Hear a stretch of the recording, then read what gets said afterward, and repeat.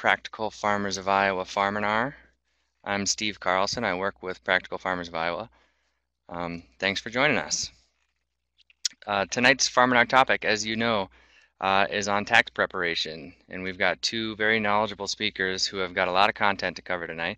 First, we're going to have Matt Russell, and, and he and his husband own and operate Coyote Run Farm down in Warren County and uh, and Matt also works at Drake University's Agricultural Law Center. So Matt will be drawing from both his farming experience and his work uh, with Drake's Ag Law Center. And then uh, joining Matt tonight is Kristine Tidgren, who is an attorney and agricultural tax specialist at ISU's Center for Agricultural Law and Taxation. So between the two of these, we've got a lot of expertise, and um, uh, before I turn it over here to Matt, though, I'm going to say a few things about Practical Farmers of Iowa and our uh, Farminar series. So this is what we call our fall Farminar series, and you can see the next three dates in this fall series um, with the topics and presenters, and then we'll take a couple breaks, a couple weeks off for a break around Christmas, and start again on uh, January 10th with another 12 weeks of Farminars. So we'll announce those topics uh, right at the beginning of the year, so stay tuned to that. Also, we do record all of these Farminars and we put them in our archive, so if you ever want to rewatch, re rewatch them or if you have to miss one, um, after a couple days, uh, once the Farminar is over, we will have it in our Farminar archive, so check that out. And there are hundreds of, or well, well over 100 Farminars in that archive, so check it out. Use the search button for anything um, that you're interested in. So about Practical Farmers of Iowa, uh, we did start back in 1985 as a nonprofit, and we're made up of farmers at that time who were interested in, in bringing back diversity and reducing inputs, uh, expensive inputs during kind of the farm crisis years. And a lot of that is still true today, but today we're also made up of farmers from all other enterprises and from all, all shapes and all sizes. And our membership is also made up of uh, friends of farmers who support our mission as well. And the mission is um, to strengthen farms and communities through farmer-led investigation and information sharing. And this mission allows us to help farmers practice agriculture that benefits both the land and communities. Our values at Practical Farmers are welcoming everyone, creativity, collaboration, and community, viable farms now and for future generations, and stewardship and ecology. Like I said, we are a member-based organization, so if you are um, wanting to connect more with Practical Farmers of Iowa, I want to encourage you to join us. Uh, we have various rates of uh, membership, and as a member, you can tap into our network. Really, what makes membership beneficial is all of our members. We have um, a network of farmers and friends of farmers who are willing and eager to help each other out, and so we have um, discussion lists where you can, you know, post production or business issues um, and get feedback from other members. We have newsletters that we send out quarterly. Um, you get discounts to our events, opportunity to participate in on-farm research trials that we conduct with our members, and a lot of other programming. Also, if you haven't noticed today in your email inbox or on social media, today is Giving Tuesday, which is kind of a reminder to support those organizations that work on issues that you care about. So at Practical Farmers Iowa, we are a nonprofit. If you'd like to join PFI, that's a, that's a great way to support us. Um, uh, we greatly appreciate all the support we get from our members and our donors, so thank you for that. Um, we do have an event calendar on our website. Just wanted to point that out. It is kind of the off season for a lot of things, but um, check the event calendar. There's still tons of stuff on there aside from our Farminars. And speaking of events, we do have in January, the biggest event of the year for practical farmers. January 20th and 21st is our annual conference in Ames, Iowa. And we just released our booklet, which lists all the sessions we've got planned. There are over 50 sessions this year, um, workshops and um, uh, community discussion groups, all kinds of um, things going on at the uh, IS on the ISU campus, January 20th and 21st uh, for farmers of all skill levels, of all enterprises. So check out our website for all those details. It's going to be a really great weekend. So real quick then, some some kind of rules here. Um, like I said, if you want to stay in touch with PFI's Farminars, go ahead and throw your email address uh, in that in that chat box. I'll put you on our list and we'll notify you when Farminars are coming up. Um, also, it's fun to see where people are tuning in from, so it looks like you're all getting the idea and kind of posting where you're where you're from. Looks like a nice mix across Iowa. Um, also, we have uh, a little poll on the bottom left corner of the screen. If you haven't noticed that, it just gives us an idea of a head count of how many people tune in. So if they're if it's just you tuning in, if you don't mind checking that number one box, sometimes there are two or three people that that uh, tune in together from one computer. Just um, check the appropriate box in that in that poll so we get an idea how many people are watching these things. Um, I hope to save plenty of time tonight for questions, so I'm going to have uh, Matt speak first, then Kristine, and then hopefully around 8 o'clock or so, maybe just a little bit after, we're going to switch over to questions and answers. So be thinking of questions for these two speakers. Um, you can type them in at any time, but um, if we don't get to it, then we will at the end of the presentation. So don't worry about that. Sometime after 8 o'clock, we'll get to those. And then one final thing is that um, near the end of the presentations, I'm going to put a link on the Farminar here for a survey, and we really appreciate any feedback about this Farminar um, and about what kind of topics you want to see in future Farminars. So if you could just take a quick minute at the end of this presentation to give us some feedback in that survey, I'll be posting that link later in the evening. Again, thanks for tuning in, and now I'm going to pull up Matt Russell's presentation and let Matt take it away.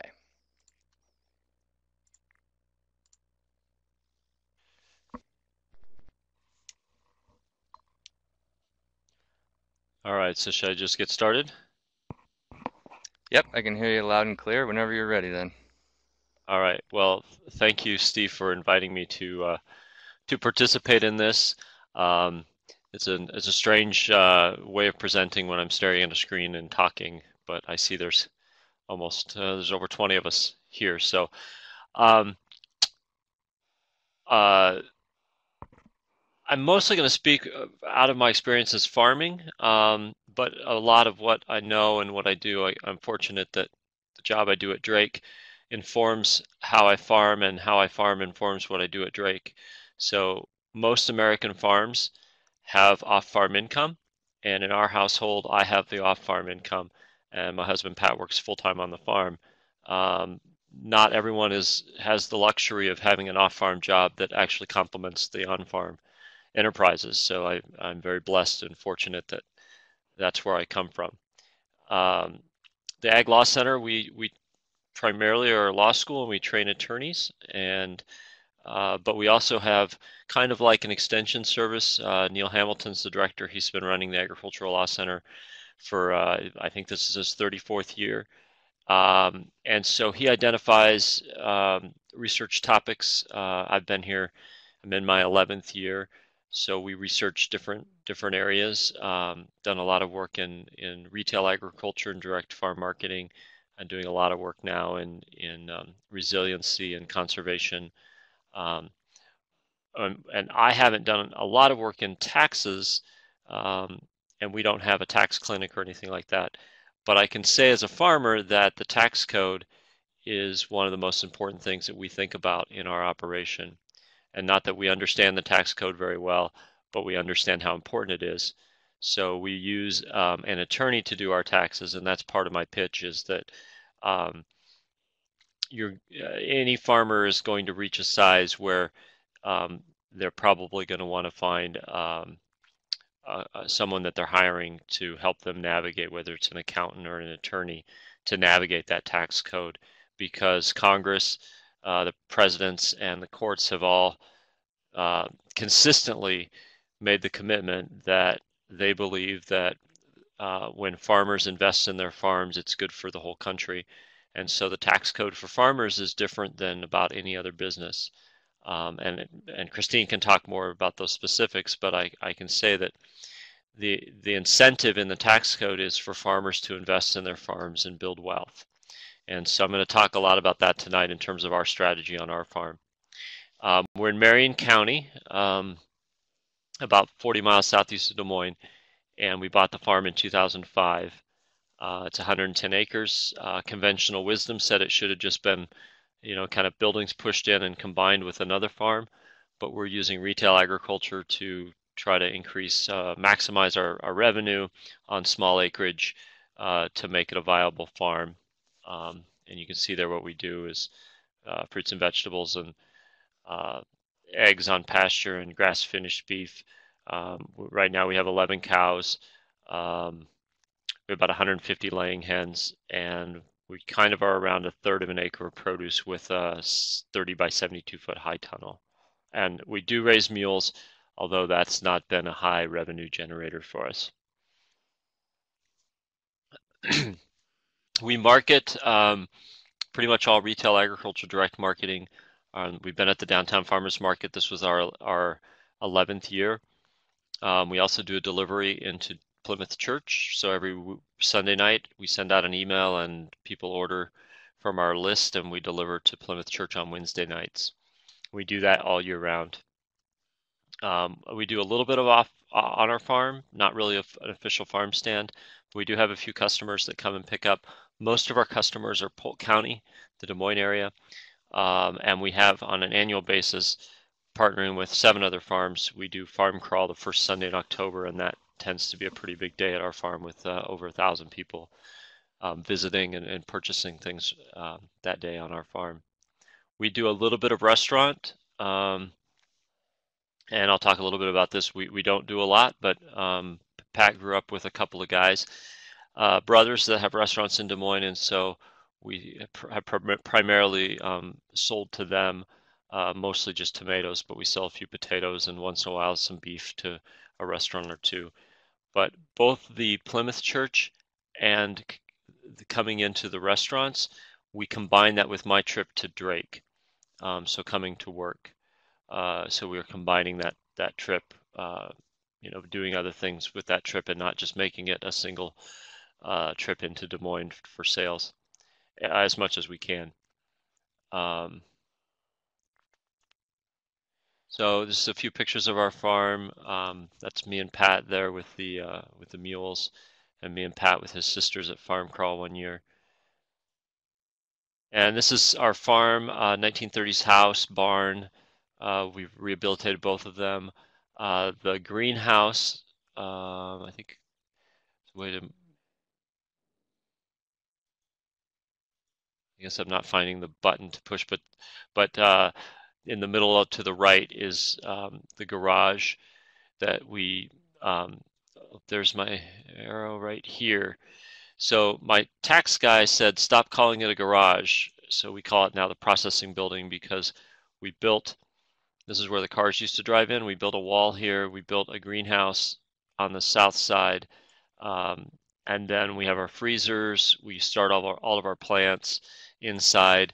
Um, so that that building has been completely transitioned into um, uh, solely a farm building um, for processing, for um, storage of meat, um, uh, and uh, uh, not not really processing. Um, we don't really process. It's for planting the starts for our plants, um, for storage, uh, particularly for meat. and this is Pat in the high tunnel I'll talk a little bit more about that. Um, we jacked up the house and put a full basement under it. Um, so we've really rehabilitated the house and modernizing it. Um, the same way with the barn, um, redesigning it a little bit to for for more of what we're using it for. Um, and here's here's our yearly uh, farm income. Uh, I generally throw the numbers out there. I, I, think it's important for people to see real numbers. Um, 2016 is still a bit of an estimate.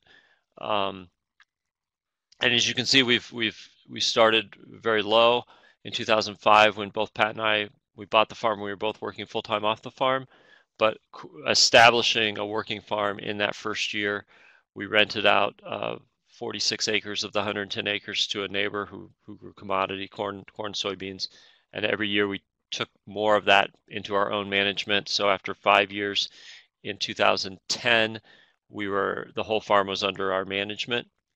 Um, a lot of the numbers here are our federal farm programs, which I'm going to show that slide in just a minute. um, to talk about how we've used federal programs, particularly in conservation, to help us increase the productivity of our farm. Um, and you can see we, we've went up and now we're, we're starting to go in a different direction and that's probably going to continue um, because I'm 46 and Pat's 53 and we're older and, and tireder and um, uh, can't work as hard as we did 10 years ago. So here's um, here's our federal payments, um, and on the left are the uh, the programs. So direct and countercyclical payments. Uh, that's the first one. EQIP is the Environmental Quality Incentive Program. And I've broken that out a little bit into um, the high tunnel program, uh, the managed grazing program that was ponds and fencing and water systems. And then there was a final incentive payment at the end when we put everything into place. Um, and then CRP, uh, the rental payment as well as the cost share. Uh, CSP is Conservation Stewardship Program, and the FMNP is the Farmers Market Nutrition Program, and those are the senior and uh, WIC coupons that we take at the farmers market, and that's kind of an estimate. Um, so, and then that's through 2011, and it's too much to put on one slide. So here's 2012 through 2016. As you can see, DCP went away in the 2014 Farm Bill, and now it's it's ARC um, and PLC. Um, EQIP we don't have any more payments on, and uh, and then LFP is the livestock forage program, and those payments came in 2014, but they were actually for 12 and 13 for the droughts. Um, and so that kind of gives you, and over to the far right is the totals. So coming all the way across in the, uh, this is our 12th year on the farm, um, we've received $75,420. So that's our revenue is all sales and then these government payments. And over time, there's once in a while a little bit of of custom uh, where we might have done some custom square baling for a neighbor or something like that. But that's a very small part of our revenue. The the main revenue is sales, and the second uh, level of revenue would be these government payments. Um, I'm going to go back to the just to the yearly gross income. Something that I kind of knew going into when we bought the farm. I grew up on a commodity farm in western Iowa. My parents and brother and sister in law are still farming, but it was corn and soybeans and beef cattle. And I knew from the little bit that I'd peeked in on my my parents' financial situation is is that I knew that it was normal for American agriculture for farms not to generate a lot of net income. And uh, so in all of these years, we have not generated any net income. Um, part of that is just the nature of the expenses and the costs, but part of it is also strategic in that we have poured everything that we've gen- that we've that we've um, generated from the farm back into the farm. So we've used the, the revenue from sales and from government programs to, in, to increase the productivity of our farm, to um, increase the personal value as well as the pr productive value of our farm. We've built two ponds. We've put in um, a pump in, a, in an existing well.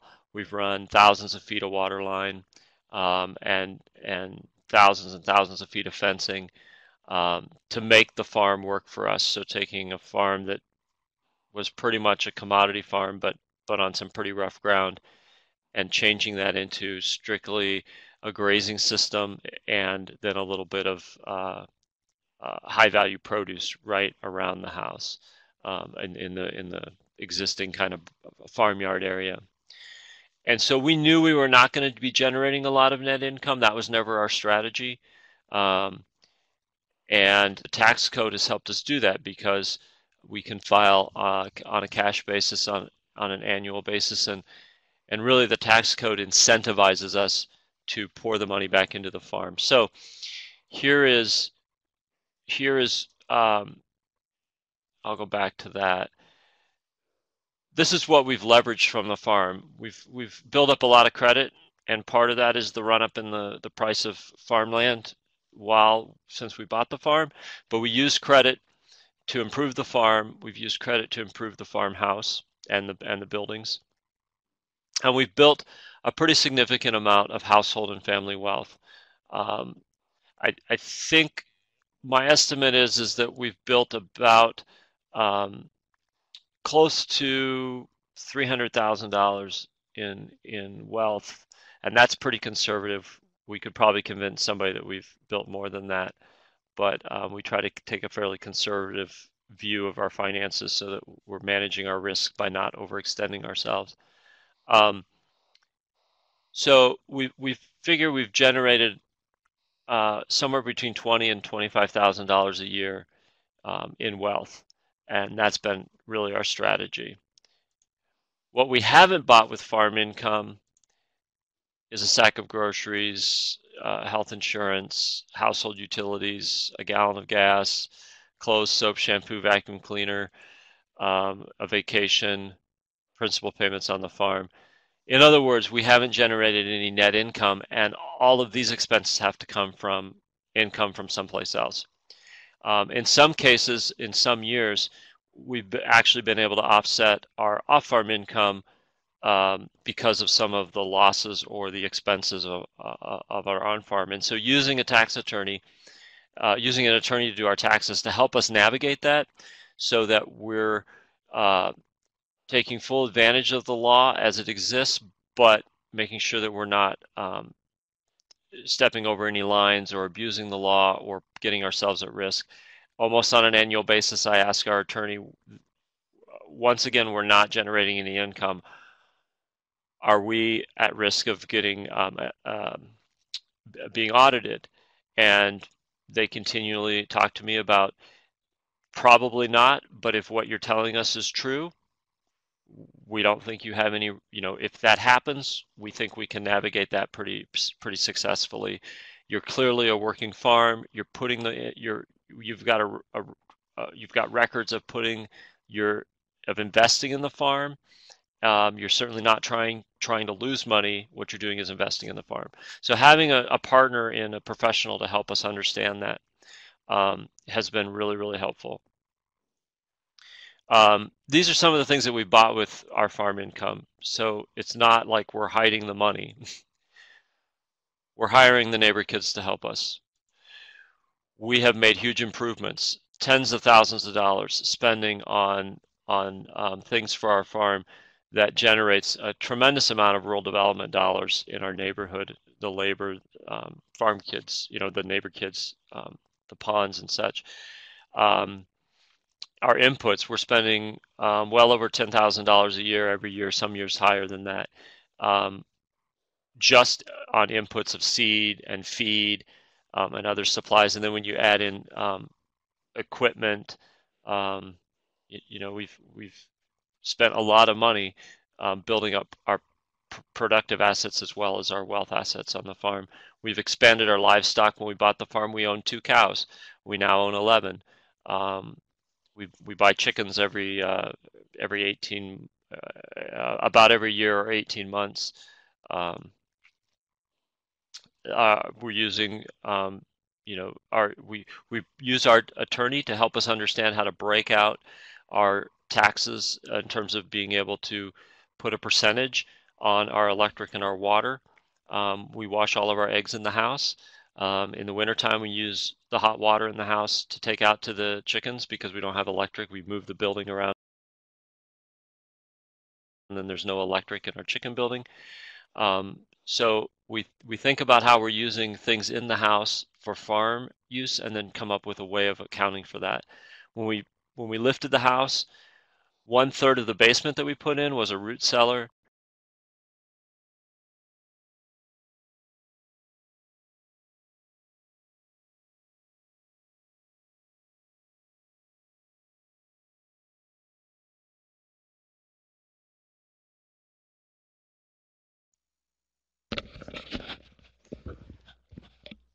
Yeah, uh, it looks like Matt Lansing was right, and we were losing Matt for a second, and uh, now he's gone. So hopefully Matt logs back in in a second and I'll bump him right up into this. Um, am I am I back now? There he is. Yeah, okay. you're back. All right. All right. So, sorry about that. Um, no. And I'll try to work through this. Just I hate just droning on here. Um, interest. So anyway, we built the the basement, and so working with our attorney to understand how we could depreciate some of that. I mean, some of it's just living living space. Some of it is actually farm space, and understanding those differences and helping someone put it, put that on a depreciation schedule is really helpful for us because I don't understand the tax code enough to do that myself. But there are huge advantages for us to be able to use the tax code to help us build the farm we want um, in, in, in, ways that are um, helpful and legal. And then interest payments on the farm as well, on our farm loans. So understanding how credit and expenses and interest, um, you know, understanding that there's a way to navigate that for an advantage. Um, and then what we've learned is is that we're very much about wealth creation rather than income generating. And and that is the story of American agriculture. When you look at the statistics and the numbers, um, you'll see a lot like the average household income of a farm in the Midwest is like around eighty thousand dollars, of which about fifteen hundred dollars of that is net income from the farm. So when people say, a lot of times people will talk to us about our farm and say, "Well, you ever do you ever want to go full time?" or you know they're shocked when they find out that we haven't actually generated any net income um, and that's usually an indicator to me that people don't understand the tax code or they don't understand what a real farm looks like in the united states because real farms are using the tax code um, in ways to build their farm and to generate wealth and and to do a lot of rural economic development um, so schedule f the tax code is is front and center to us in our strategies for our farm. Relationships are fundamental. Our relationship with our tax attorney, with our customers, with our neighbors, with our with the contractors that have done a lot of the work on our farm. It's just those relationships are so important. Um, we're getting old. We can't do this forever. So we also have an exit strategy or a, a slowdown strategy. Um, it, we don't have to just get bigger and grow all the time. We we have another strategy of of going the other direction and enjoying a higher quality of life um, in while we're actually changing our production and, and lowering some of our output. Um, USDA has been great. Um, the American taxpayer has made a huge investment in our farm, and we owe the taxpayer uh, a huge commitment to keep putting those conservation practices in play that, that they've paid us to do. Um, and off-farm income is so important. We, we couldn't be doing this without it.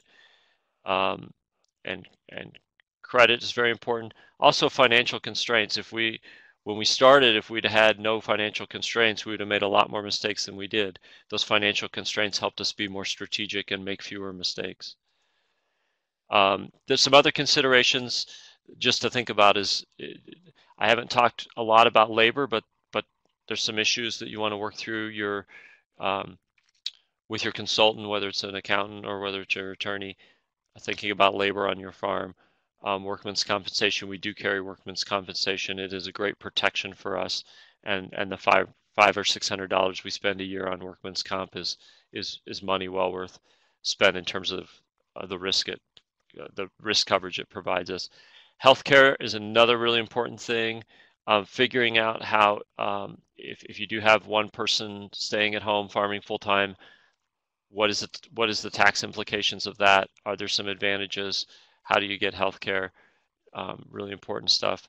Um, sometimes people misunderstand there's different jurisdictions so your county and your property tax is different than the schedule f um, and that's different than what usda thinks of as a farmer. So there's kind of lots of different entities uh, or lots of different um, jurisdictions that are that are defining farming in a little bit different ways. And just because one entity defines you as a farm doesn't mean that the, another um, a, another uh, uh jurisdiction is going to define it the same way. So understanding those is really important. And so uh, with that, I'll I'll yield the time over to um, Kristine and wait for questions. Great, thank you, Matt. Um, while I'm pulling up Kristine's um, presentation, though, uh, looks like Matt Lansing had a question that was relevant for you right now. He said, uh, "What if you're just on farms that are rented?" And this is when you're talking about, um, you know, uh, building wealth on your farm. And so, if you're in a situation where you're renting, and so it would investing in equip equipment, how would that differ from investing in farm improvements like ponds and watering systems and stuff like that? Do you know? Yeah. So, am I still on? Yeah. Um, uh, yeah, you can you can hear me, right? Yep. Can you jump in? Okay. Uh, so one of the things is, and I talk to people about this a lot, where they're they're just starting farming. Um, you may not be able to build a lot of wealth initially, but you do have a lot of expenses when you're just renting, and so understanding um, what what are um, what are acceptable or recognized expenses. So um, understanding uh, you're traveling to and from different places. So there's mileage, um, there's there's tools and equipment, there's clothing, there's all kinds of things that even if you're just renting, you want to make sure that you're accounting for all those things and counting them as an expense. Um, so that's that's one piece of advice. Um, you know, another another is um, you know, if you're just renting, you you can build some wealth through livestock. That's a little more challenging. Um, uh, but but part of it is is if you want to run as much of the income through Schedule F as you can, and you want to run as many you know as much expense through Schedule F as you can. Um, so that that's kind of how it's set up. It's it's to incentivize farmers to um, uh, to, to, to put as much expense through there as they can because it's incentivizing farmers to spend money. So if you're spending that money anyway, make sure you're figuring out how to run that through the tax through, through your um, Schedule F in your taxes, so that you get tax you know you get credit for it in terms of offsetting your income.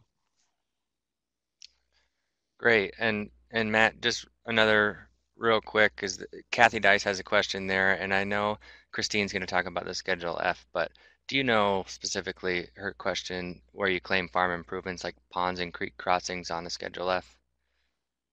Yeah, that's a that in, in our experience that's going to be a depreciated a depreciated expense. So while you, you there you know you can file your taxes on a cash basis. In other words, you know you don't have to. Um, uh,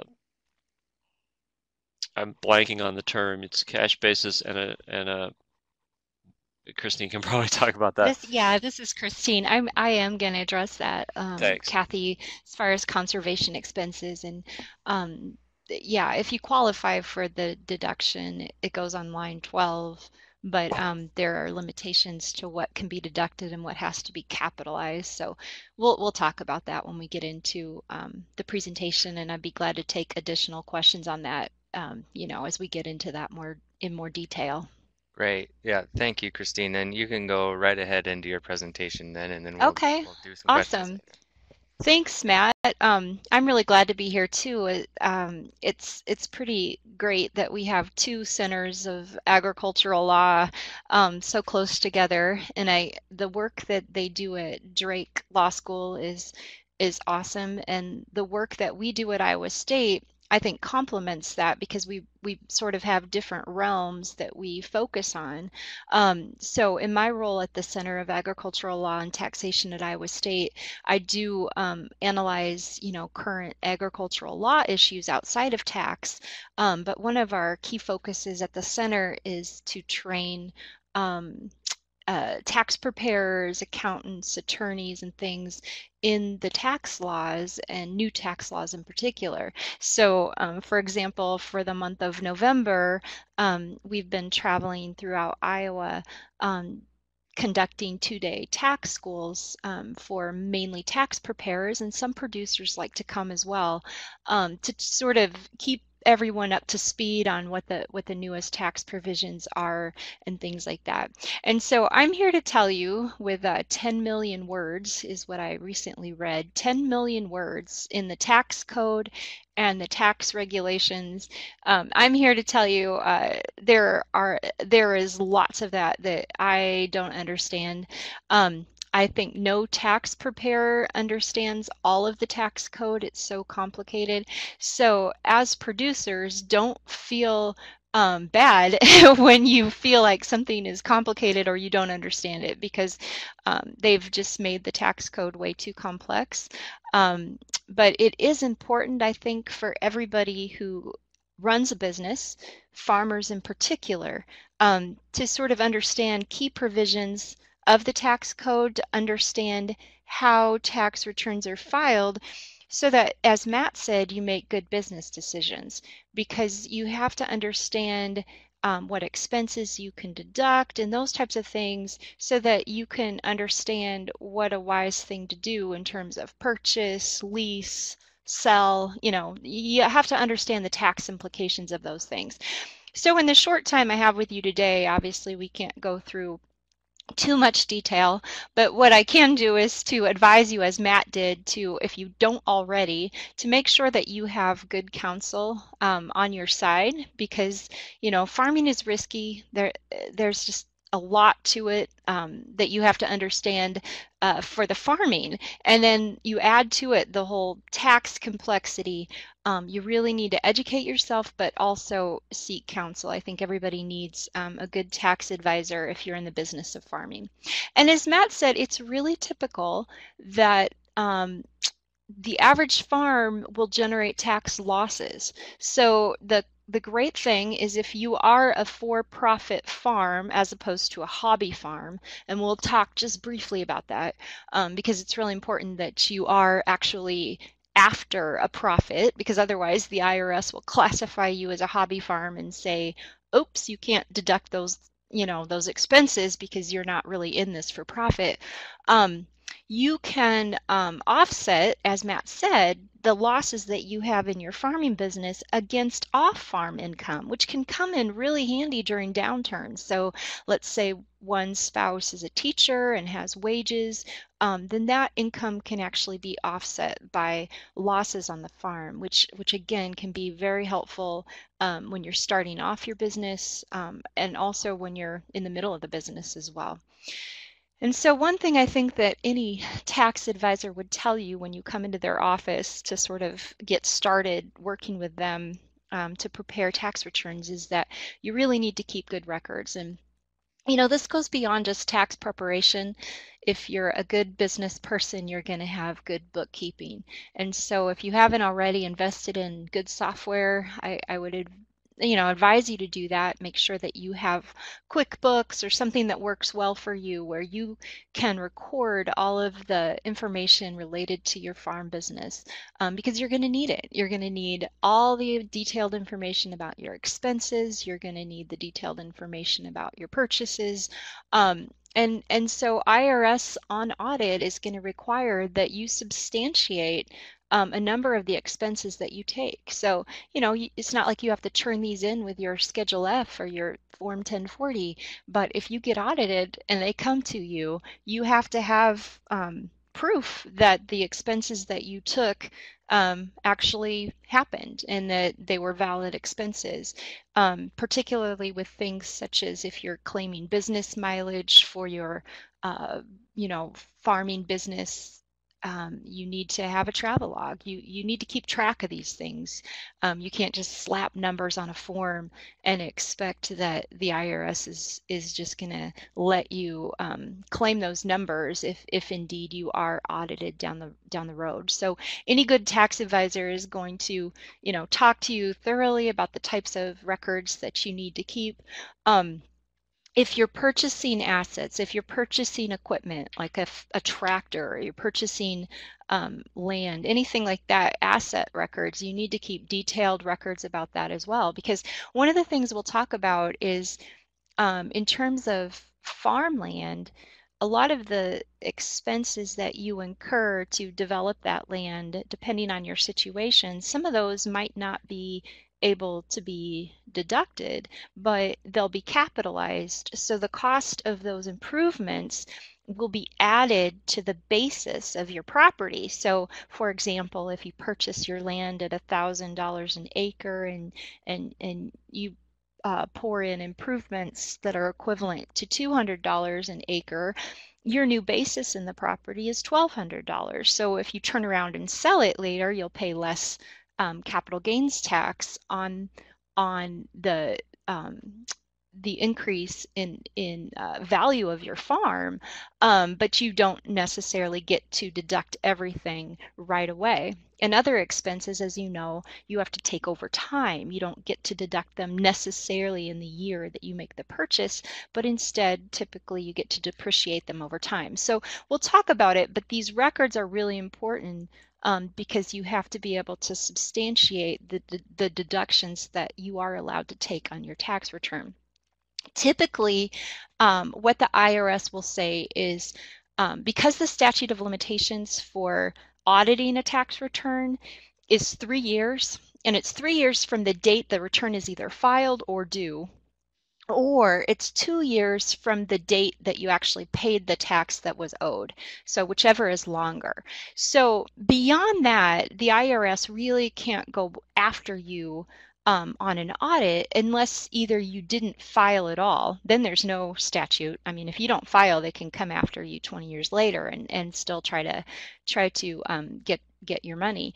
Um, or if if you committed some type of fraud. Um, but but in a typical situation, you know, you really have to worry about keeping records for uh, substantiating things that you claim on a return, so things that would be needed on an audit um, for about three years from the time that you file. So that's sort of a helpful guideline. Now, I wouldn't suggest rushing right out there and throwing your records away after three years, um, but talk to your tax advisor and see what um, his or her preference is and, and make sure to go along with that. Because things like charitable contributions, um, as you know, those can be very valuable tax savings devices, but you have to have uh, detailed records of those. And you actually have to have a statement from the charity if you get audited. Um, it's not sufficient to show a canceled check showing that you wrote a check to this particular charity. You actually have to have a contemporaneous contemporaneous written acknowledgement from the charity that you gave your donation to stating that you got nothing of value in return. And a lot of people don't realize that you actually have to have that in your hands technically at the time you file your tax return. And so if you're later audited, you can't then go to the charity and say, oh, can you quick give me a receipt? Um, IRS might not look at that. So when it comes to asset records, so I'm talking about records of your machinery, your equipment, your your farmland, that, those types of things, you really need to keep those records long term because um, you're going to be depreciating that asset. So, so as long as you own the asset, you need to keep the detailed records about that asset because it's going to be really important for you to keep track of what the basis is in that asset, how much you paid for it, um, how much depreciation you took, whether you took any special expensing deductions, those types of things. Um, very important. And then if you happen to have employees, you really need to keep employment records for at least four years. So those are just some sort of rough guidelines, um, but record keeping is definitely important. Matt touched a little bit on accounting methods. And like I said, I could go on for any of these topics probably for an hour each um, at least. So my goal is to just sort of give you a high level um, uh, overview you know half an inch deep is all. Um, but but most of most of you most farmers are, are going to use the cash method of accounting because irs allows it for farming and it's very easy. And so essentially with the cash method as opposed to accrual you get a you get to take your expenses when you incur them and you claim your income when you receive it now there is this this uh, little doctrine called constructive receipt. And basically what that means is if you are entitled to receive payment for something in 2016, for example, let's say the grain elevator calls you and says, okay, we have your check, come, come and get it. That is income that you received in 2016. You cannot at that time say to the grain elevator, oh, I'll pick it up in January and then claim it as income in January. Um, it is income to you when you are entitled to receive it when it is made available to you without restriction.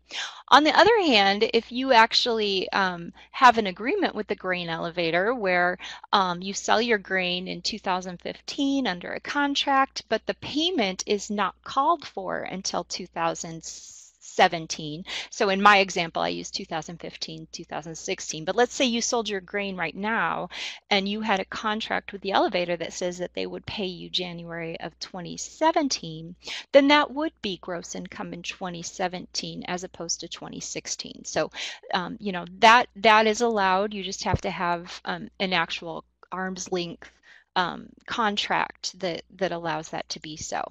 So just you know, in the little bit of time we have, um, Matt mentioned Schedule F, um, and and that is that's the key uh, document that you'll um, fill out for the IRS when you or your tax preparer um, hopefully um, prepares your tax return.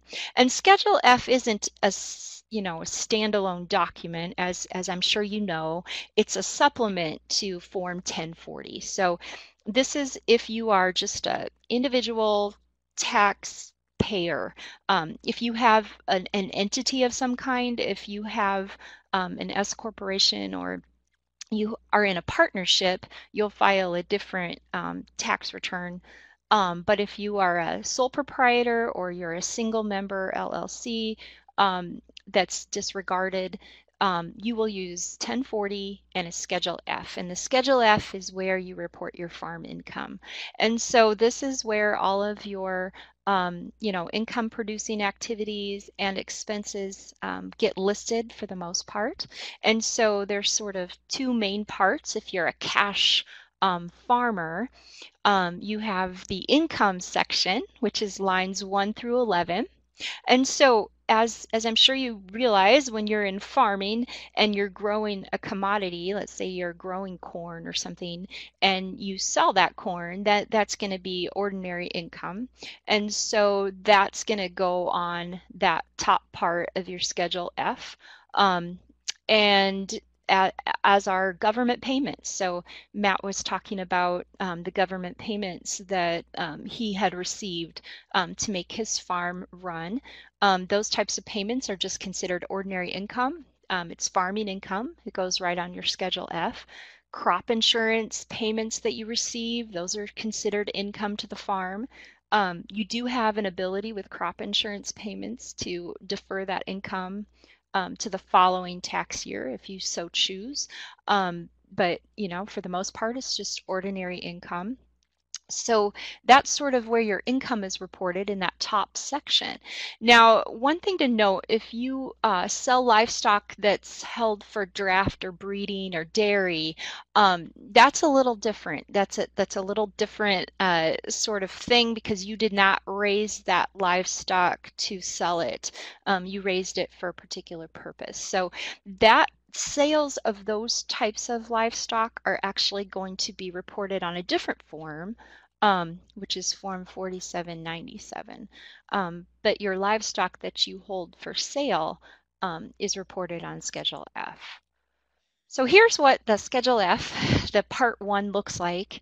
And, um, you know, pretty, pretty straightforward. You can kind of see I've we filled out just a little bit to kind of give an example of, of what it might look like. Um, but but I'm sure if you've been farming, um, you've seen this and, and maybe some of you have filled this out yourself. Now really the heart of the Schedule F and the really important thing for farmers to understand are what expenses are you allowed to deduct against your income because bottom line nobody wants to pay taxes right? If you can get your income down as low as possible um, that's that's very beneficial. And the tax code really is there to sort of um, help you be able to do that. Now we mentioned that um, you got to be careful about the word hobby. And the reason is because you know a lifestyle farm reports, you know, should use Schedule F to report agricultural activities. So you can have a lifestyle farm, which is, you know, not your sole source of income. It's it's it supplements your income, maybe you have off-farm income and all of that. But as long as you're engaged in the farm for the purpose of making a profit, it's Schedule F income. It's it's farming income. It's it's uh, it's income against which you can deduct losses. But as soon as you venture into just having a hobby farm, which is really defined as you're not in it for a profit intent at all. Um, a lot of times, the types of farms that um, are classified as hobby farms would be maybe you own horses. That seems to be um, a, a key fact pattern in a lot of cases that end up before the IRS and they'll say, nope, you were just doing this as a hobby. You're not allowed to use the losses that you um, that you generate from your hobby to offset other income. So if if you are engaged in what's not really a profit venture but more of a hobby, um, what you can do, you can still de deduct those losses somewhat, um, but you have to deduct them on Schedule A of your Section 1040, and they're only you can only deduct them greater than 2%. So it's a huge difference. You don't want to be in that situation. You can't use hobby losses um, to offset off farm income. It's a totally different thing. And IRS will audit you if you know if it if it appears that you're not in it for a profit. So you know they give you they give you a chance to to get off the ground. And as matt said you know he's had this conversation it sounds like um, with his with his tax preparer. And it sounds like their farm is is definitely very much of a profit venture. But um, but it is something that you should discuss in detail with your tax preparer if, if you if you're concerned that perhaps your activities are are you know, classified more as hobby than um, a profit venture. So here's what part two of the Schedule F looks like. And so this is where, you know, the main expenses that you might incur in operating your farm um, get reported.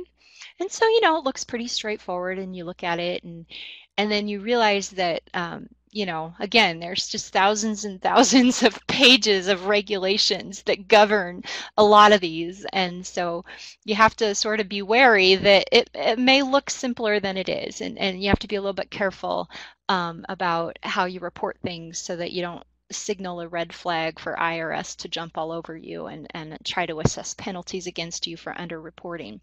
Um, one thing that's important to realize is that your net farm profit is, is going to be subject to self-employment tax. Um, which you'll have to report on Schedule SE. It's just like if you operate another type of business and, and use a Schedule C, same thing. Um, it's a business, so you have to pay self-employment tax on it. Um, and so you have to file your your schedule SE if your incomes from your uh, self-employment is $400 or more. And so you pay that, it's 15.3% when you're self-employed, um, but it's only on the first $118,500 of your of your net income.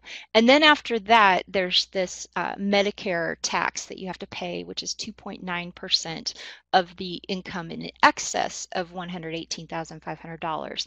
Um, but the self-employment liability is does have that that that limit of uh, net income up to $118,500.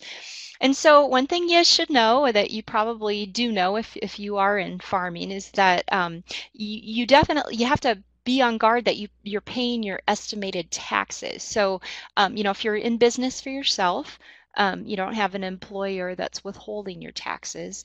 So you're required under regulations to pay quarterly estimated payments of the amount of income tax that you will owe as in addition to your self-employment taxes. But if you are a qualified farmer, you have a different set of rules under which you can work because farming income is so sporadic. Um, the IRS has given cash flow farmers, um, you know, the cash flow is unique, so they've given farmers special provisions. But in order to qualify for this, you have to have at least two thirds of your gross income from all sources um, be from farming. So a lot of a lot of times, uh, um, somebody who files a Schedule F, somebody who's a farmer, is not going to qualify for this estimated tax um, rule. So you know, if that's the case, make sure to file your quarterly um, taxes so that you don't owe penalties when when you actually pay them. But if you do if you do uh, meet this rule where at least two-thirds of your gross income from all sources is from farming then you don't have to pay any estimated taxes as long as you file your return and pay all of the taxes that are due by march 1st um, so it's not technically that your taxes are due March 1st. It's just that you won't be penalized for not paying estimated taxes if you file and pay by March 1st. So that's a rule for those of you whose um, farming is, is your main source of, of income. Let's look a little bit in the time that we have remaining. We don't have a lot of time a couple of key things um, related to farm expenses because there's a couple of things you really need to understand. So in any business, you have the ability to deduct presently the ordinary and necessary costs of operating that farm. Um, but there are limits. So you can't just automatically deduct everything. Some expenses have to be capitalized, which means you have to take the cost, the expense, and add it to the basis um, of the property, which is usually the price that you paid for it. You have to add the cost of the of the improvement or whatever it is that you did to the basis, and you can't deduct it from your um, income. Uh, but um, but you know that can get complicated. You can deduct the actual cost of operating a car in your farm business, or you can choose to deduct mileage. The only thing I'll tell you about um, about uh, truck and car expenses is you need to keep good records because um, if you get audited, the IRS will require that you have um, good records of uh, your expenses or they will not allow the deduction. Now, the, the, the big thing I'm going to talk about briefly before um, before we wrap it up and open it up for questions is that you really have to understand depreciation because as Matt said, you know, part of the incentive of the tax code is to um, pour your money back into um, capital assets and improvements and things to really develop your farm. And when you buy a, an asset that has a useful life, you don't typically get to deduct the cost of that asset immediately when you buy it. The, the, the default is not to be able to just deduct it. So let's say I bought a tractor um, a tractor is farm equipment which would have a, a, useful life of, of seven years under under standard accounting principles if, if I'm just using general depreciation. So typically what I would do, I'd buy the tractor and I'd take the cost of that and I'd have to, let's just use a simple, there are different ways to do it, but if I was using say a straight line just simply over the course of seven years, I would deduct the cost of that tractor. Okay, so that's historically and typically how farmers would handle expenses. Now, Congress, in its desire to sort of um, generate uh, um, spending to stimulate the economy, um, to try to encourage businesses to reinvest in their businesses and, and keep the economy going, have created a couple of really important provisions that impact farming and farmers greatly. And so the one that, that I, am just going to talk about these two provisions before we wrap up. Um, the one that you hear about the most is Section 179 and that's just the, the number of the tax code provision um, where this where this deduction um, originates. Um, but everybody calls it Section 179, so it's not really a technical term. It's just it's just what they call it. But basically, what Section 179 does is it says, okay, if you're a small business person, if you're a farmer, and you invest or buy an asset, you get to deduct that expense in the year you place that asset into service. So let's go back to this tractor. Let's say it's a $100,000 tractor that I purchase. Instead of having to spread out the deduction of that expense over a seven year period with one sec with 179 i get to take an expense deduction in the year I put that tractor into service. The whole $100,000 I get to offset against my income. And at the end of 2015, Congress made this Section 179 permanent with a limit of $500,000. So for 2016, I can I can deduct $500,000 in qualifying expenses in the year I purchase the um, assets. Now, there is a cap what's called a threshold, which sort of keeps this deduction uh, to be one that's be able to really be used by smaller businesses and farmers as opposed to you know huge businesses and that threshold says if i spend more than two million ten thousand dollars per year on asset purchases qualifying purchases then i then my deduction phases out dollar for dollar for every dollar I spend above that amount. So for every dollar I spend, so so in this case for 2016, if I spend two million five hundred ten thousand dollars in assets, I don't have a Section 179 deduction. But if I spend less than that, I have one. And for most farmers, you know, you're going to have the $500,000 available to you. Um, and that number is going to be indexed for inflation starting next year. So for 2017, you can actually presently deduct $510,000 in the year that you make the purchase. Now, again, we're running out of time, but one thing I do want to say is, you know, so here's a list of the things that qualify um, machinery or equipment, new or used for Section 179, which is good. Um, you cannot use Section 179 for machine sheds or general purpose agricultural buildings. However, if you are putting up what qualifies as a single purpose agricultural building, like a special um, building designed for hogs or something like that, um, that is considered 15 year property and that is something that you can use section 179 for.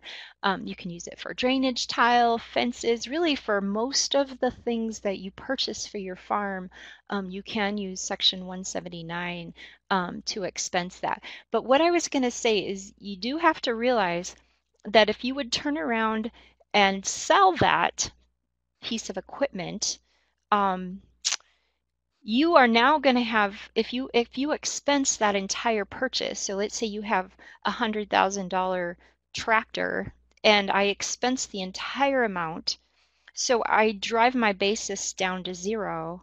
If i turned around and sold it the next year for eighty thousand dollars i'm going to have to have what's called recapture. I'm going to have to recapture um, that ordinary income that I earned from because I've already depreciated it. So that $80,000 that I get from the sale is going to be ordinary income that I have um, that is going to be subject to ordinary income tax. So that's something to just keep in mind, especially in a downturned economy, that um, Section 179 is great um, for you know purchasing equipment for investing but you know it, it, it can't be so great on the back end sometimes if you're scaling back. It can it can actually come back to bite you. So um, that's section 179 um, there's a companion um, uh, code called bonus depreciation that you've probably heard about as well. I call it companion because the two kind of go hand in hand, but they are very different. Um, Congress made the Section 179 deduction permanent. Congress looked at bonus depreciation and said, you know what, we're going to extend it for five years. This was in 2015. So it, it, it has been extended through 2019. Um, it is being phased out over the course of those five years, however. But for the next couple of years, it's at 50%, which what it means is that you can deduct 50% of the basis of your property in the year you place that property into service.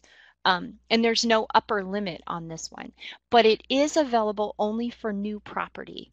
And the, the other thing that's distinctive about bonus depreciation as opposed to Section 179 is you can use bonus depreciation for that machine shed, for that building that's not single purpose.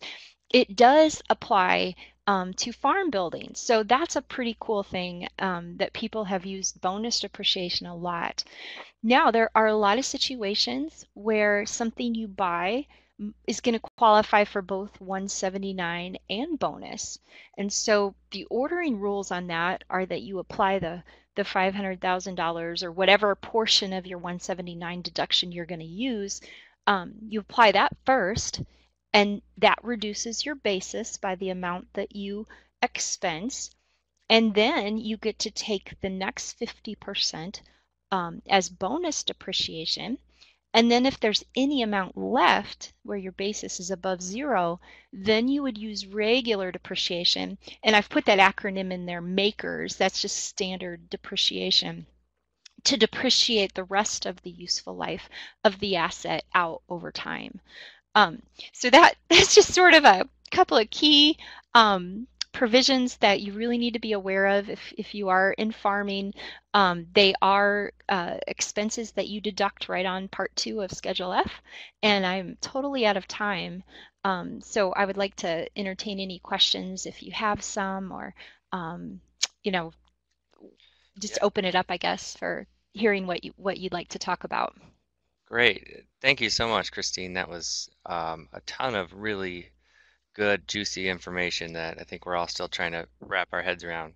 I'll um, there were a few questions in the chat box there, and um, Katie had one first, which um, really goes back to the first thing that that Matt said was that um, he hires a tax attorney to help him with this, and then after yes. after hearing everything after hearing everything that you just went through, I can see why. And so Katie's question was about how, um, or do you have any advice on on how to find um, a good tax specialist that can help you with this, specific maybe to your enterprise of farming? And maybe Matt can answer this too. But do you have any advice for trying to find someone who can really navigate this for you?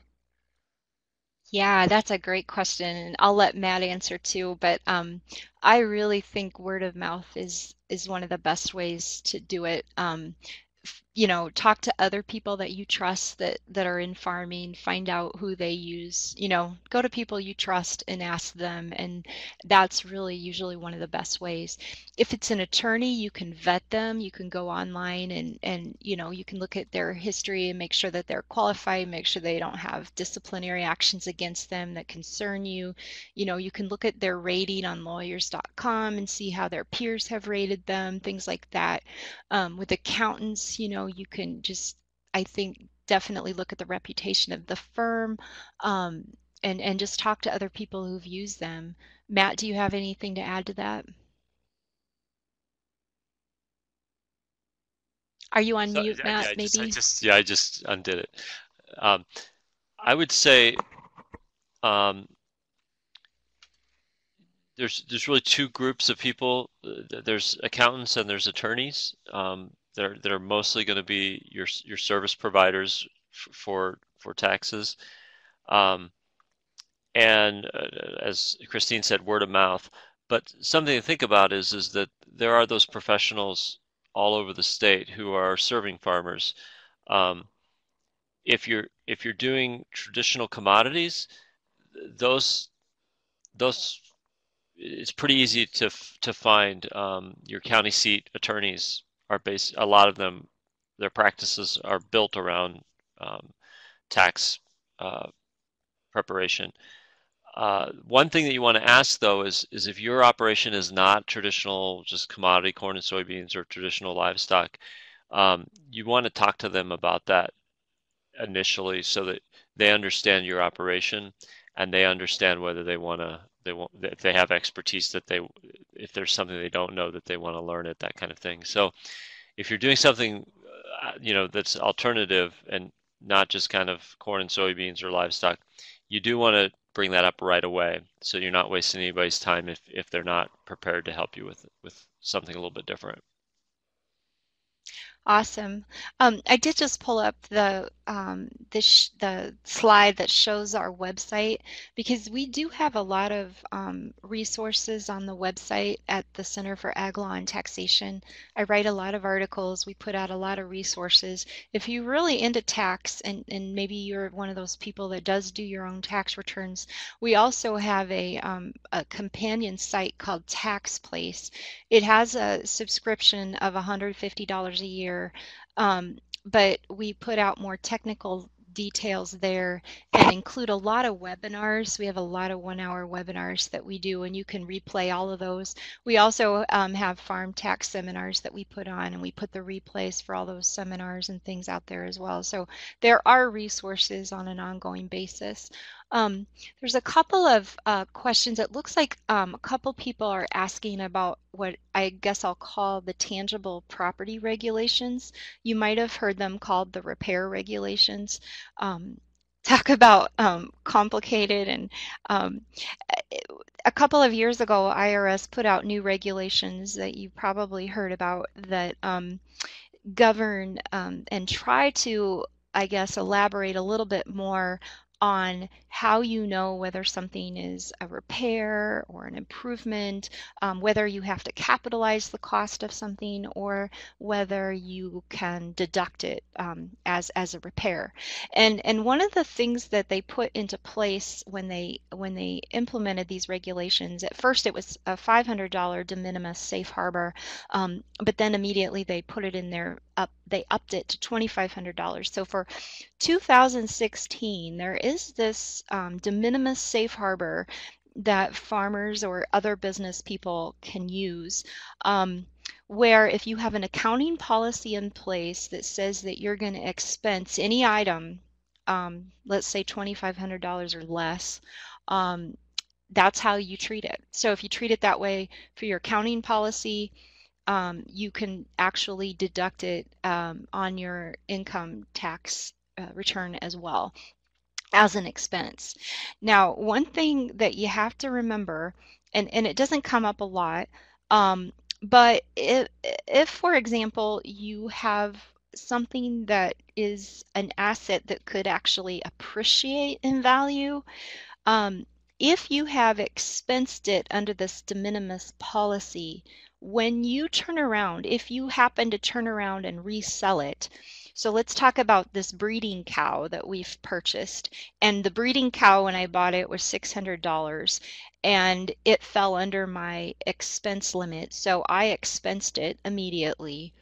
But then I uh, decide that I have too many breeding cows and I sell one and I sell it for $1,500 then suddenly um, my entire amount, because my basis is now zero, my entire amount of that sale price is going to be considered ordinary income to me.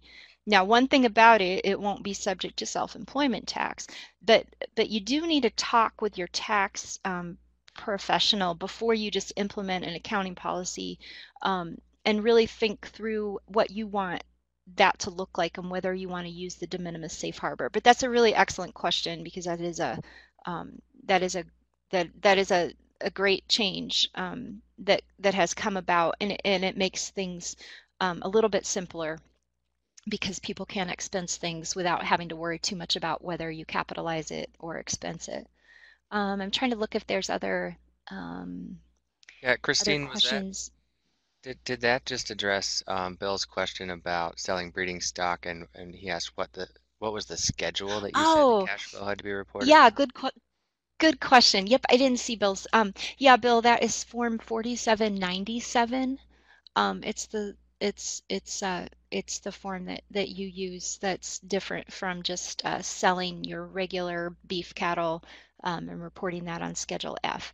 It's the same form that you use if you sell an asset like the tractor, um, that's where you report that as well. Um, so it, that's an important farm form for farmers to, to know about, Form 4797. Great. And and then there was a, there was a question just before Bill. Anita had asked, um, how do you report income from leasing animals? Do you do you, are you familiar with that at all? Or maybe Matt would be too. I'm not sure if he has experience with leasing his livestock.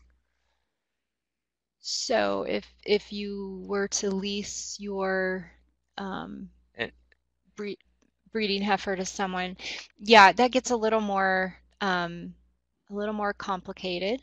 Um, but typically, I believe it would just be also considered uh, farming income as opposed to Schedule E rental income. I, I, I believe it would be, but that's one I'd have to I'd have to dig into a little more deeply because that's not as common of a situation. That's a good question, Anita. Great. Um, I think going down the list then, we've covered a lot of these. Karen, Karen had the question, can you speak to the capitalization policy? I don't know if. Yep, and I think that's, I think she was talking about the tangible Okay, property good. regulations that I talked about. Yep, yep, good question. Great. Um, Ford's question then, what regulations are there for paying seasonal neighbors that work on your farm? And, and I know Matt definitely has experience with that.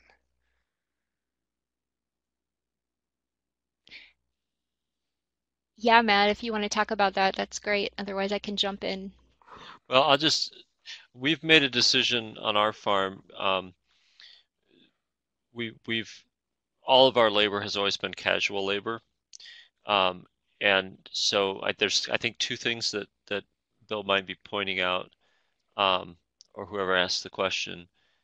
One is when you hire, when you hire help, um, we do it all as on casual basis, and so it's all um, 1099s. Because we're not setting their schedule, um, they're typically bringing their own equipment, you know, their gloves, and we're not providing them with that. Um, and eh, and the main thing is is that we're not we're not we're we're mostly doing like if it's baling hay, it's baling hay. We pay them by the hour, but it's but it's like task oriented, um, and and we're not scheduling them and we're not supervising them as employees, and we typically are doing that all just ad hoc. So that's worked well for us. And our, our outlays are usually somewhere between three thousand dollars and I think eight or nine thousand uh, dollars total labor costs aside from the labor that Pat and I are providing. That's kind of the range. Um, the other thing is, is it, you can trade labor, um, and I don't.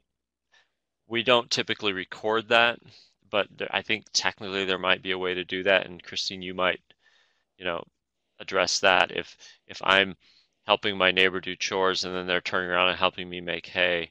Um, there may be a technical way to do that, um, and I'll let Kristine weigh in. Yeah.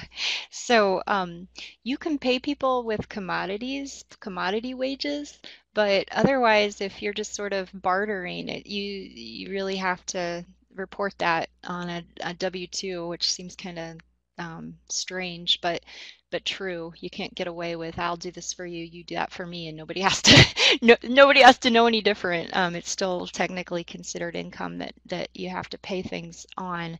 Um, you have to be really careful about hiring people because IRS and there's a big push throughout the country right now. Now it may change with the change of administration, but there's been a really big push about um, uh, reclassifying. Uh, laborers as employees when they've been, you know, paid as independent contractors. So if you have any control over them at all um, and, and, there's a close call, IRS is usually going to consider them to be employees.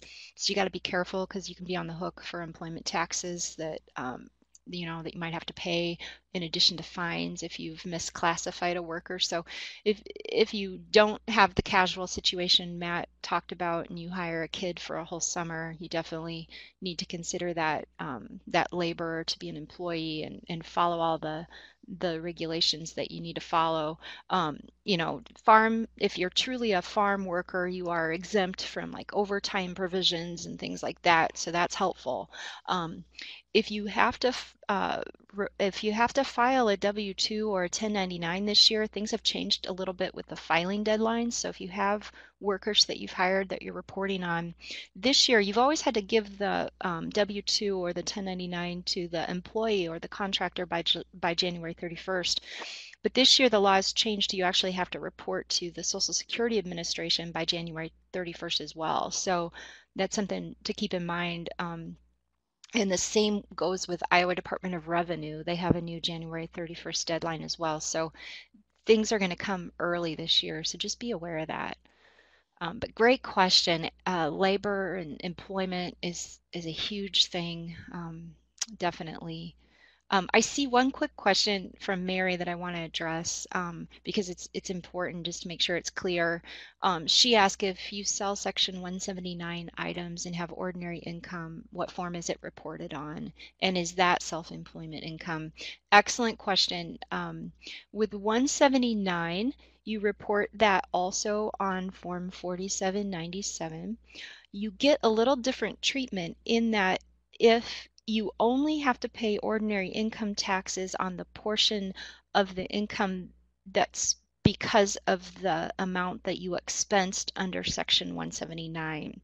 Any other part of the income, you just have to pay capital gains tax on. So if your basis is zero, yes, you're going to have to pay ordinary income tax on the whole thing. But if your basis is, you know, $40,000 and um, you know, a portion of that was because of the section 179, you only have to pay ordinary income tax on that on that portion of the income.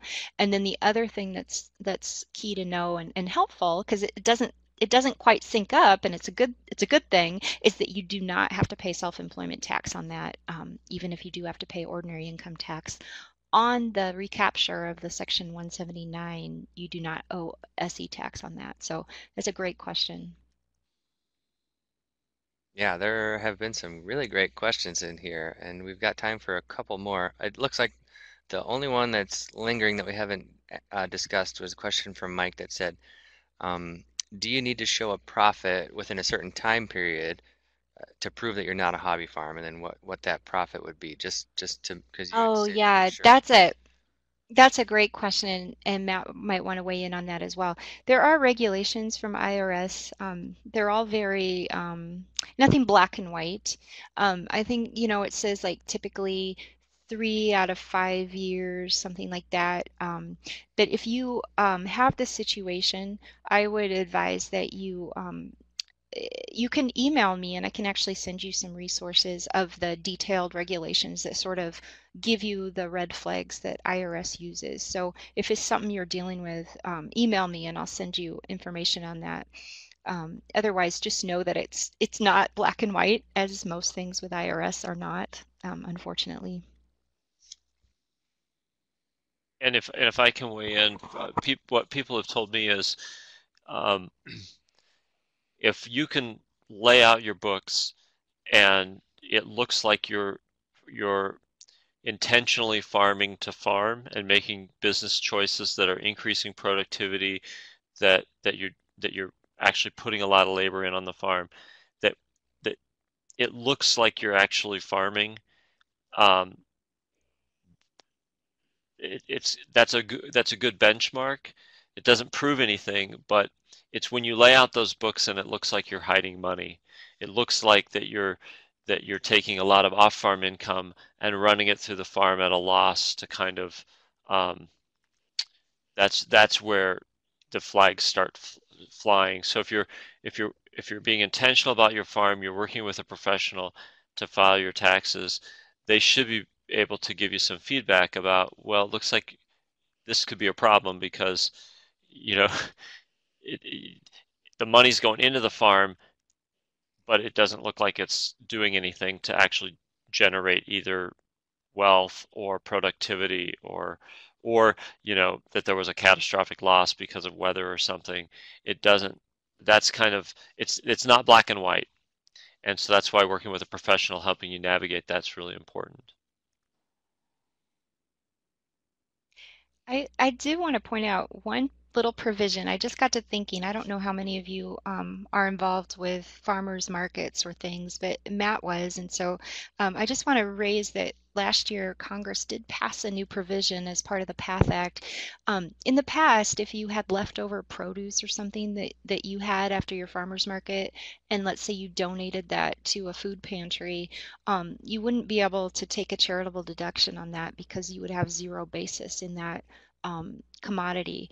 But as part of the PATH Act, there was a change that a farmer, a cash basis farmer, can assign 25% of the fair market value of whatever you were selling that commodity for. So if it's sweet corn and you were selling it for a certain price, you can set your basis at 25% of the fair market value and you can actually take a charitable deduction for donating that produce to a farmer's market. So if you're in that I mean, to a food pantry or a or a qualified charity. So if you're in that business, it's a it's a great new provision to sort of encourage charitable donations, and I think it'll help a lot of people. And the food just has to be um, apparently wholesome, so it, it, can like not be your standard uh, looking food. Like maybe you couldn't sell it because it looked funny, but as long as it's wholesome, you can donate it and and take a charitable de deduction, and that's a good provision.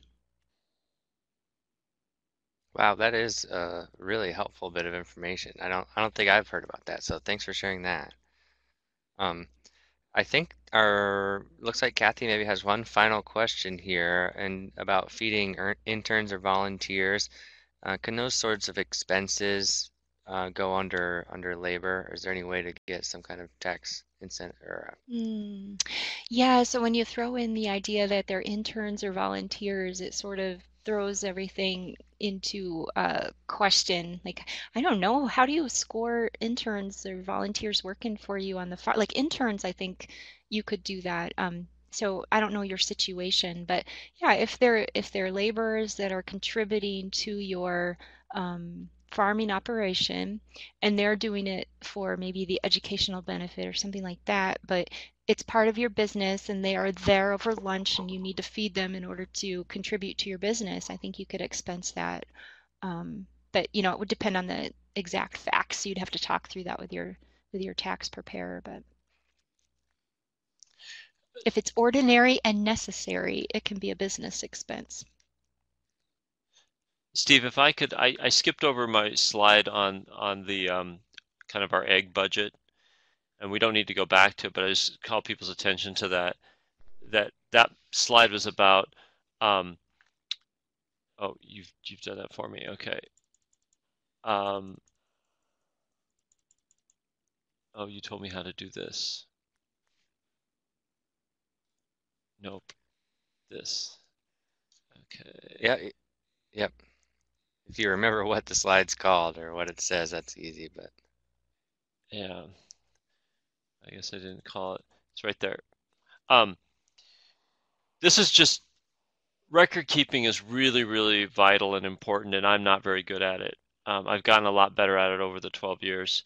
Um, but one of the things is that if you keep good records, there, it's helpful for a whole bunch of reasons, taxes being one of the top reasons. But um, we hadn't really kept track of what it was costing us to do our eggs. We thought we were selling 4,000 dozen, $16,000 sales, you know, we but when we actually took them busted apart all those components, the the cost of the refrigerator, the the interest on the farm, all the things that you would run through it, you know, basically a, a tax accounting, when we got done and we really saw where we were not generating very much income from our eggs.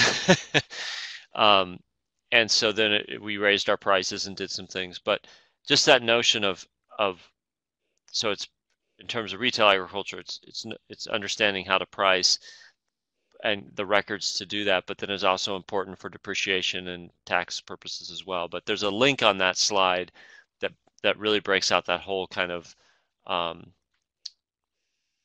you know story of of how we went through that and and and all of our line items for the budget for producing and selling the eggs. So I just want to call that um, out. Yeah, great. Thank you, Matt. And that hyperlink should work for all of you um, who want to click on it. Um, but that brings us right up to 8.30 and we have uh, exhausted the questions in the chat box. So I think this is a good time to wrap it up. Um, mm. I'd consider this a fantastic farminar. So thank you, Kristine and Matt, for taking the time to do this for us. Really helpful stuff.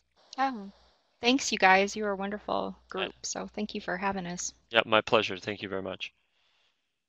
Yeah, and thanks everybody else for joining us. Again, we'll be back next Tuesday uh, for a couple weeks in a row of cover crop topics. So those will be good stuff. And don't forget, if you haven't taken that survey, that'd be helpful for us. Thank you.